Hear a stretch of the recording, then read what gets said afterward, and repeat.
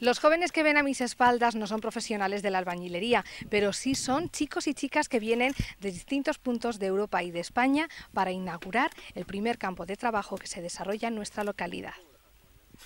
Tras varias solicitudes y cumplir ciertos requisitos, por fin San Sebastián de los Reyes acoge su primer campo de trabajo dentro de la campaña de verano de la Comunidad de Madrid. A lo largo de estos días, chicos y chicas procedentes de otras localidades y nacionalidades están disfrutando de todos los aspectos de un intercambio cultural en el que el don de lenguas es importante, pero no imprescindible. Hemos tenido algunos problemillas a la hora de entendernos con, sobre todo con los americanos, y con gente griega que hay y eso, pero bien. Pero con la lengua. Sí, la lengua. Pero nos aclaramos, nos aclaramos bien. ¿Qué habláis por señas? pues no hay traducciones um, durante todo el tiempo, entonces uh, nos entendimos. ¿Tenéis también una persona que es eh, traductor y que os ayuda? Claro, sí. Entre nosotros, cada uno sabemos, uno sabe francés, el otro sabe inglés y nos apañamos muy bien puede decir que buen rollito entre sí, todos? muy buen rollo, muy buen rollo. En un día enseguida ya nos hemos conocido todos y muy bien. Este campo de trabajo se ha fragmentado en dos quincenas, del 16 al 31 de julio y del 1 al 15 de agosto, en las que los jóvenes no solo vienen a trabajar, sino también a divertirse. Bueno, ¿realmente un campo de trabajo se viene a trabajar o se viene al cachondeo? ¿Cachondeo qué? ¿Qué es cachondeo? ¿No has aprendido todavía lo que es el cachondeo en no, España? No, no nos han eh, enseñado eso. Solo trabajar, puente, carbonera, yo sé todo, pero no, no sé eso. Diversión. Diversión. Sí, sí, es trabajo y diversión en mismo, mismo tiempo.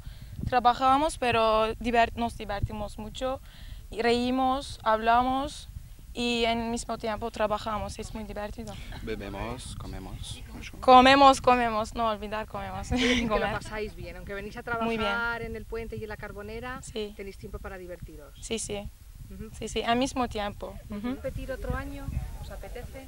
Sí, sí, sí, me gustaría mucho hacerlo otra vez. ¿Por qué no? ¿Por qué no?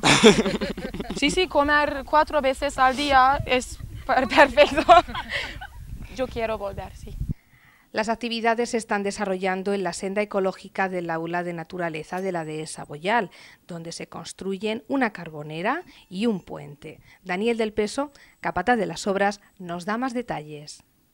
Eh, consiste en amontonar tierra en cantidad, se amontonan bastantes metros cúbicos de tierra, eh, se le va a cubrir con una malla gallinera ¿eh? se va a cubrir, luego se va a enfoscar de cemento y, eh, como si dijéramos un gajo de una naranja, dejaríamos un poco visto con trozos de, troncos de, encina incrustados para que la gente vea un poco simulado cómo era una, una carbonera de este tema. Y luego aquí un puente porque esta es una zona, esto es una senda ecológica, entonces es, es bastante larga, entonces aquí como vienen muchos colegios de niños, pequeños, para hacerla un poquito más corta, como por aquí pasa un arroyo que a veces trae mucha agua, para hacerla un poquito más corta en este vado que hay aquí, pues se va a construir un puente de madera, madera y piedra. Pero ¿cómo se toman nuestros visitantes esto de venir de vacaciones para trabajar? Esto es estupendamente, tienen un entusiasmo, están deseando hacer cosas y terminar el puente, y, si les mando otro puente, hacen otro puente también. Lo que pasa es que no tienen tiempo, les queda muy poquito tiempo. Les sobran ganas. Les sobran ganas y entusiasmo. Es la primera vez que lo hacen estos. Estos son, son estudiantes y en su vida han cogido una pala para hacer cemento, para y cortar madera, hacer, no sé, trabajos de estos en el campo, pues, pues siempre gusta. Siempre les gusta. Si hubiera que ponerles una nota, ¿qué nota se le pondría? No, ya esto les pondría una nota muy alta. Muy alta, ¿eh? De 1 a 10 les pondría un 9. ¿Un sobresaliente? Sí, sí, largo. Sobresaliente largo.